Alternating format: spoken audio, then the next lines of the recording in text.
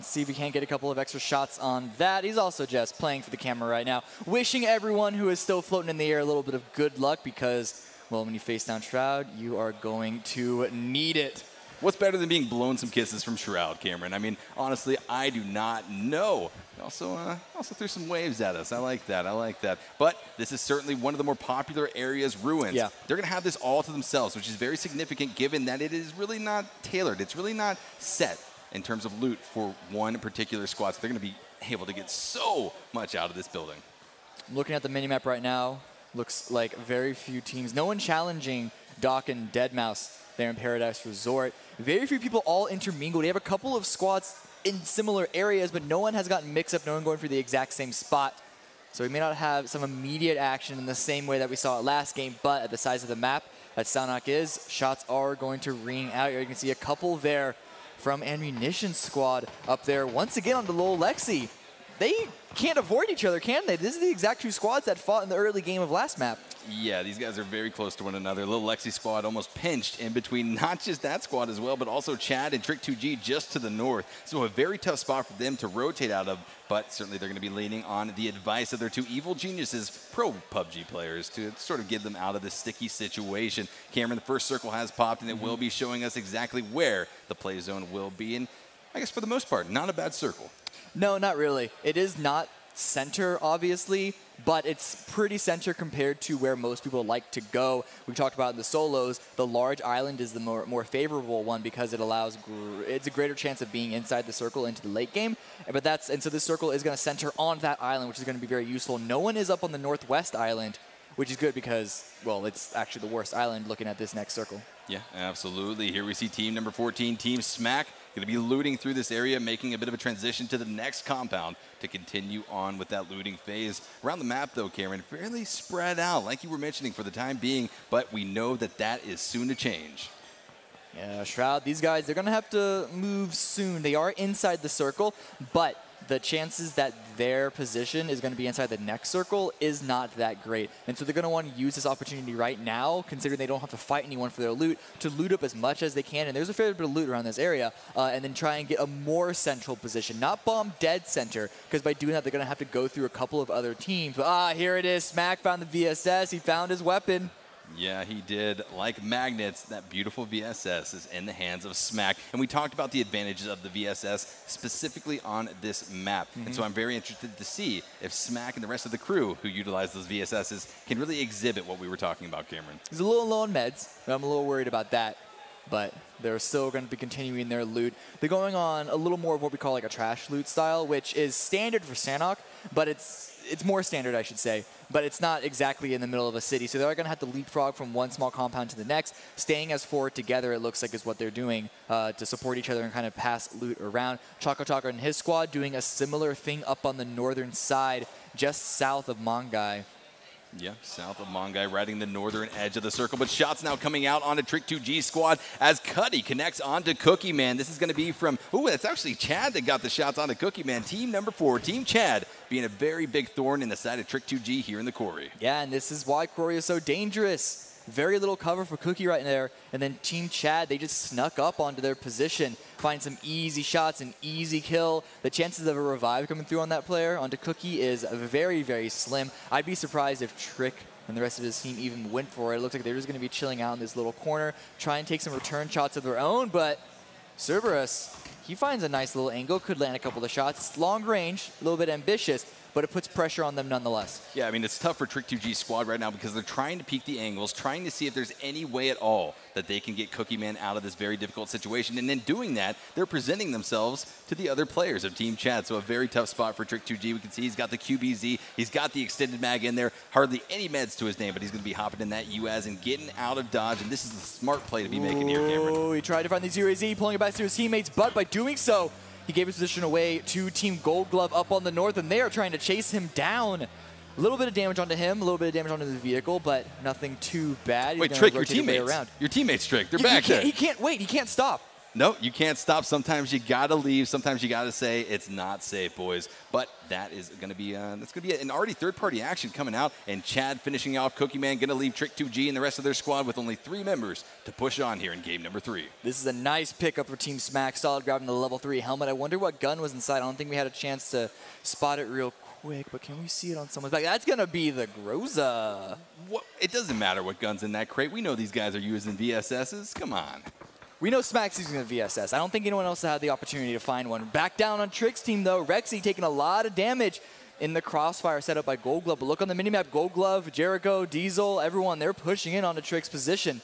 And Glove going to be knocked and bleeding out right now as they try to figure out are they going to be able to get their team captain back up. Certainly he is telling them safe res, safe res, safe res, but we will find out if it is actually going to be safe. Rexy, meanwhile, going to be inside of the building just trying to peek these angles, see where the threats are presenting themselves, and this is a very smart move given the fact that he is separated from the rest of his squad. Look at all this third, fourth, and fifth party action. Looking on the map on the right side, you can see how many teams are here in this action trying to chase them down. It looks like Justin from Team Luzu actually gets a down onto Horsey. So now it's just Rexy and Trick left, and we saw they are separated from each other. This is a bad position. Trick takes more damage. Hmm. It's just a very tough spot for these guys to be in. Every team, at least in this centralized area or where these teams are trying to rotate out of, uh, they're surrounded oh. by multiple squads. Oh, guys, you can't see Trick. He's lining up the shot. He wants to make sure that he has a clean finish on Come both on. of these guys if he takes a shot. But if they just walk past, he's going to let them. Oh, no, he's going for the shot. Let it rip. Trick able to find the connection onto Chad right there. The captain of Team Chad going to be going down and out as Trick gets knocked behind the rock, trying to hide, trying to not get shot anymore. Possibly going to make the opportunity for another teammate to come in. His only remaining teammate, Rexy, to come get that res. But it is going to be a tough one at that, as we do have a player number 28 trying to rotate out. Cuddy trying to rotate in to get a res, taking a lot of damage in the process. Dropped down to about 10% HP. But the push of Team Gold Glove is going to find frags of its own onto Chad's team, already grabbing one. In fact, now it's just Event 28 left alive. He's got to find his own way out of this. Reses for him are looking pretty, pretty bad. Jericho takes point, actually shooting now at the team Luzu. It's a big giant brawl here between multiple teams. Yeah, a huge giant brawl. Gold Glove able to be res by his teammate, a very significant res for this team. But they're going to be hiding up here in this bit of a little sniper tower. It gives you great vantage on the surrounding areas, but it is extremely hard to get out of. You either have to vault, Yeah. which puts you in the very vulnerable animation, or you have to run down the stairs, revealing your body entirely to shots. Yeah, it's a commitment, is the point. Yeah. It's a commitment, Cameron, and we see them making that commitment right now. Diesel going to be looking up. Meanwhile, his teammate is popping those meds. But over here, Smack he's got that VSS out. This is a good line of sight to be popping off these 9 mil shots. Will he start to take these, Cameron? Jericho finishing off what Trick 2G started and takes out Team Chad, or the first team out of this. VS Max looking around, unable to find any connection to the VSS just yet. But don't worry, we have more action ahead of us as the circle shrinks smaller and smaller. Here right now is going to be Little Lexi on the eastern side, currently looting up Kampong. Yeah, all four alive for them. Excellent to see. Blue Zone will be pushing in on circle number two in just a matter of moments. And it looks like team number three, it's going to be Ash's squad pulling up on to Smack's team, team number 14. So these guys are a little bit separated, but certainly close enough to have an engagement pop off as well. Look, Cameron, look at Ammunition's team right next to this. Yeah, everyone's all close together right now. A couple of shots immediately ringing out. Ammunition going on the aggressive. Wants to find these connections, wants to find these headshots. Wiki took some damage, wanted to duck behind, waiting for his team to regroup back onto him. Cameron, I just got word from production that Ludacris has subbed out from Shroud's team, and it will be his protege, Childish. Yeah, so let's see if that can't make it better. Childish Major. Childish Major is going to be subbing in for Ludacris right now. So we're going to see. Is something different going to be able to come out from these guys? Uh, you know, I don't know. Certainly Shroud is a great captain to Yeah. be taking these guys through the games. It's a nice curveball. Everyone could be prepared to play against Shroud when he has Ludacris, but oh no, surprise fourth player com- could completely change the dynamic of the team, throw all these plans of these attacking teams onto them into turmoil. But right now, it is still ammunition keeping Team Vis pinned down. Already got a kill, already got a full frag. Yakuza, though, taking a lot of damage in return. Going to the duck and weave is going to avoid any more damage down to 50. Going to heal up after that. But Garrett 9000, the rest of his team, still trying to find these connections. Missed the headshot. Watch the peek from the opposite side. Don't over peek yourself. Garrett just holding on to these angles, trying to spot out ahead. Yak is not going to be giving them that opportunity. Ooh, slides out of the left side of the tree. A few shots going out from Garrett. He's just going to continue to peek these angles, pre-fire it, see if he gets a lucky connection onto one of the members from Ammunition Squad. But with this, will Garrett be able to get out of here if they full-on rush this building, Cameron? Well, they're going to want to find a connection first before they do so because it's a clean path down that hill. What I'm worried about is ammunition is getting third party from the eastern side, but the damage is still coming through. So far, no one's punishing this commitment by ammunition, keeping Team Vis pinned down. Vis looking worse for wear right now. Garrett took a little bit of damage. They're just losing more and more meds. Right now, though, we're going to be looking over who is this? This is going to be Shroud's team coming up against Anthony K. Yeah, Anthony Kongphan and the rest of the squad. Number two going to be just close to Shroud and the rest of their team. The next circle has popped. Circle number three has presented itself. And where will our players be going? Over to the east, Cameron. Yeah, so both these teams right now on our screen, they're going to have to take care of each other before they cross this water. Crossing water is very risky, whether you actually swim across or go across the bridge. And so if Anthony's team is not aware of the presence of Shroud and they cross the river without knowing, Shroud could easily punish them. It looks like that may be the case right now. Is Shroud going to have an opportunity, him and the rest of his team, take out some opposing players? Certainly, this is exactly what they want to find. You know that Shroud does not shy away from combat at all, fully confident in his skills to frag out, and that is exactly what I think we're about to see popping off. Mm. It looks like a lot of kills, though, in our kill feed as team number nine, that's going to be Gold Glove Squad, as well as team number 11, Luzu's Squad, and Visit Squad are all fully engaged in these in, in these battles, Cameron. Yeah, there are two major fights happening right now. It's going to be Vis was one of them. He's actually getting pushed on by Team Smack as well as being continued to be pinned down by Ammunition. So it's a three-way three-way fight right now. This is down to two, but Team Smack is only down to one as iDev gets dropped. Could get revived still, but it's still a really bad position. Looks like Smack may not want to go for the revive right now. It may not be a good choice for him. He may just want to retreat at this point. But Vis, he's going on a retreat of his own. Stutter has been picked up and is just along his side. Ammunition their position is way too strong for them right now, and you don't want to have to push through them to get inside the circle. They're going to make a decision to loop south and loop around, but by doing so, they may be walking directly into Nothing's team. But yeah. Smack, though, finds a kill with the VSS. Hello, Ammunition, down and out. We were waiting for it, Cameron, and there's Smack, tried and true, going to be popping off with the VSS, and here he goes again, trying to get a double kill, spotting out more of Ammunition Squad, trying to wrap around the corner, but it's going to be Yakas who ends up spotting out Smack, taking him down and out with the AKM. Good aggressive play there from Yakas to ruin Smack's dreams of getting more than one kill. But he got one. That's more than I think any of us can say that we can do with that uh, Almost interesting two. weapon. Almost, Almost two. two. Almost yeah. two. So a very good push from Smack right there. Unfortunately, did not end the way that he had hoped.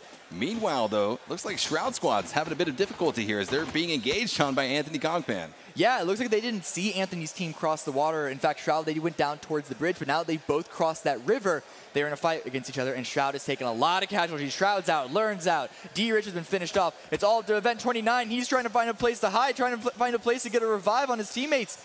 I think this is Childish Major. This is the sub in for Ludacris right now, it just is. trying to survive, trying to really pull out for his team right now. You know that Shroud is giving him some advice under the bridge. He's safe for the time being, but will Shroud be able to guide Childish Major out of this sticky situation, Cameron? Here's the real test of being a good captain is trying to play from the backseat, but the Blues overtaking him, and Drassel holding the angle punishes the late retreat by Childish, and so that's going to be Shroud Squad out in 13th place. Out in 13th place, certainly a confidence booster for Anthony Kongphan and the rest of their squad as they continue to push in here in game number three. 12 teams remaining, 40 players alive, Cameron, and just 14 minutes and 30 seconds into the game, and action has been popping off left and right.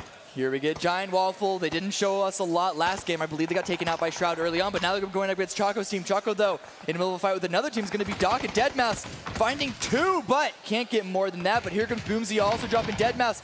I believe there's only one member left from Doc's squad. It's just the Doc himself, and he gets taken out by Boomsy. Choco Taco and the rest of his team making very quick work of team number seven. Boogie was the first, I guess, the first casualty of that engagement, mm-hmm. and it just really went downhill from there. But certainly Boomsy and the rest of Choco's squad going to be very happy. Choco, though, lost in the engagement, so they will be working with only three players as they continue on. It's really good, though, that they're able to get that engagement over and done with quickly because here comes Waffle pushing down onto them. 35 seconds where the blue closes. Neither of these two squads is inside the next safe zone. And so they're going to have to take care of this fight quickly. But Choco's squad, what remains of it, do have a good position to keep a gatekeep. Lukey off the side, landing a couple of shots, but takes a lot in return. He does get finished off. Gets it down by Technostar, but Destiny's Chicken able to get the trade. Yep, this is going to be Giant Waffle Squad right here trying to do whatever they can. Binan's going to be wiped out as well, leaving just Waffle and Avriliz left as the only remaining players alive. Will they be able to get the res? Will they engage onto this squad and try to wipe them out and clear out the clear out the battle? I don't know. Destiny's Chicken's going to be creeping up now, trying to get closer and closer using these trees as this cover. They do have to worry about the third-party potential by Team Luzu. You're going to see a couple of shots from them up to that position. So both of these squads need to worry that they don't overcommit onto each other. May want to just cut their losses in the retreat, but a nice little tap down by Drassel onto Ashy Bears. But back on Destiny's Chicken, he's trying to punish the run from the blue, but he's got to worry about the blue himself, taking some shots in through the shrubbery doesn't land too many connections, and instead it just pushes them towards the east, but it also does stop any revives. Absolutely. We see one member of Choco's squad, Boomsy, going to be rotating in, securing the circle position for his team. Yeah. Meanwhile, Destiny's Chickens is going to start that rotation himself after taking a few more pushback shots on to that squad. Here comes Anthony Kongphan and the rest of team number two as they push into Dizzy Kitten's squad. And Dizzy Kitten already knocked. That's going to be one of their other teammates going down as well, just Alaric left inside of this compound. Yeah, a fight against the duo remaining from Viz's team puts Dizzy Kitten's squad down in a very bad position. Drassel, though, he wants more. He wants in. He already has three kills, but that's not enough for him. And he wants to take care of Viz. Viz's remaining teammate of Stutter. He's going to push up aggressively, aggressively up the hill. Viz is trying to redirect his own angle, though.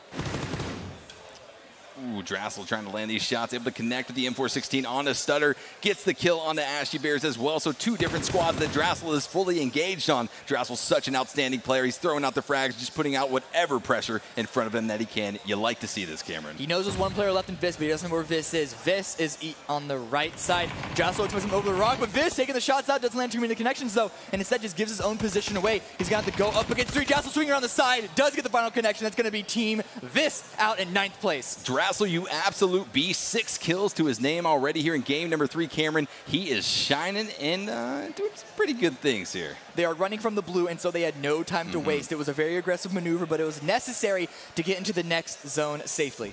Absolutely. And here comes our next circle, Cameron. It has shifted us a little down to the southeast of our central point of our circle number four. But for the most part, I think team number one, the remaining members of Ammunition's team, going to be very happy with their position. Remaining, and that's the crucial part. There's only two of them, so they're going to need to do a lot of work controlling their angles, and I'm sure Drassel is not done pushing forward aggressively.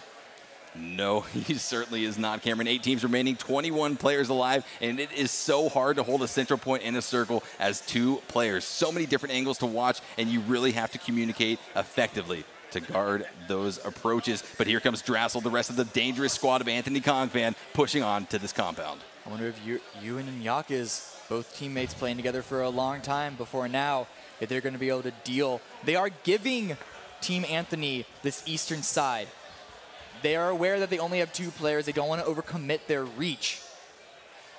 They could get an easy shot. It's not going to land, and now it does tell Anthony's squad that there are neighbors right next to them. And Nate, though, is going to make his way through the window, I believe. Quickly, the players trying to avoid this damage. You saw them spread out immediately. More damage, though, coming in, connecting on to Ewan. Meanwhile, though, team number eight, this is going to be Giant Waffle Squad, or what remains of that squad, trying to push through, finding beautiful connections onto Luzu's squad. And, uh, yeah, I mean, that's what they need to do. Eight teams remaining, 20 players alive, just trying to make your way inside of the zone.